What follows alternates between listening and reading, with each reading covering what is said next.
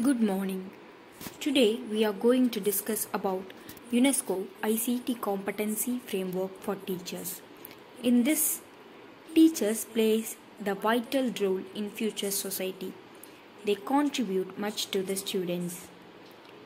In for teacher, ICT skills and competency framework for teachers is the most important thing. A framework for training teachers to effectively integrate ICT in their practice. A set of competencies that teachers need to integrate ICT into their practice and professional development to advance student learning. What are competencies? Teacher competencies are descriptions of what a qualified teacher or qualified educator in a given country should know and be able to do. Why do we need competencies? Training institutes will need to procure lecturers and instructors to meet those competencies. Training providers provide training which meet country priorities as expressed in the competency framework. Teacher educators and teacher understand the minimum standards required of them.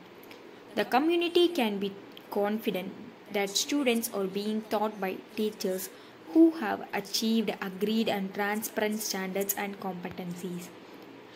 In UNESCO competency framework for teachers, it have three levels and six aspects.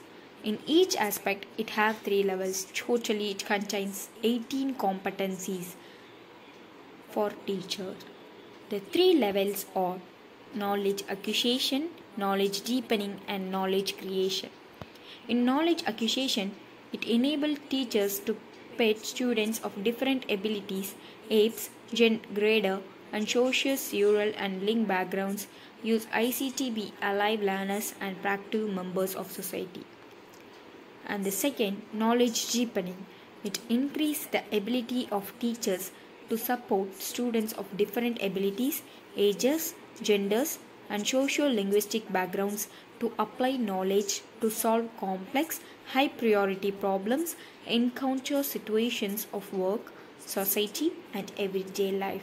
And the third, knowledge creation. It enables teachers to engage in and benefit from knowledge creation, innovation, and lifelong learning. There are six aspects in UNESCO competencies framework for teachers as I told before. And the first aspect is understanding ICT in education.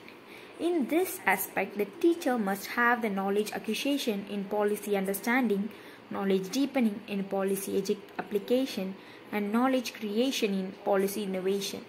This aspect encourages teachers to be aware of how ICT might be aligned to national education priorities as expressed within the policy environment. The next aspect is curriculum and assessment.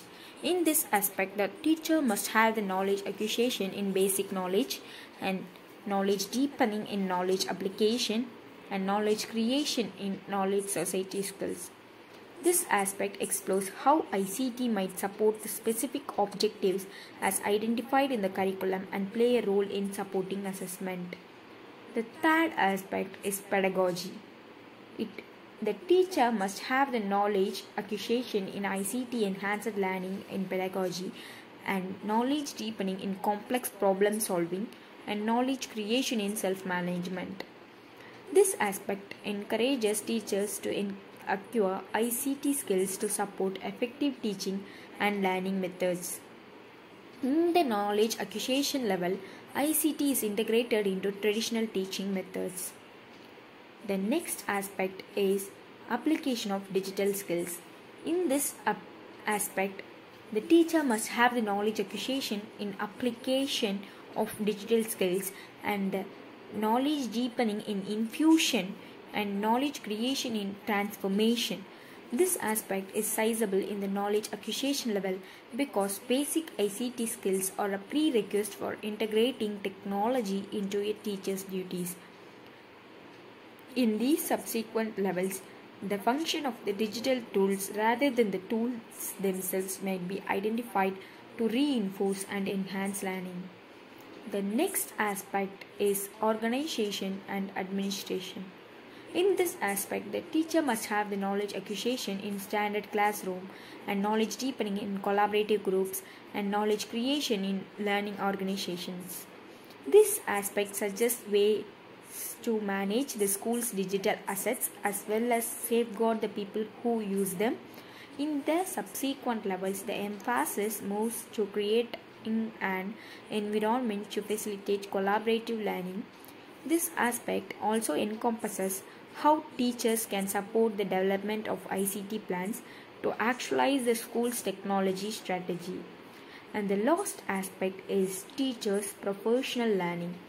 In this aspect, the knowledge acquisition of digital literacy for a teacher is the most important thing because she have to teach the students about the digital platform in a proper way and the knowledge deepening in networking and knowledge creation in teacher as innovator.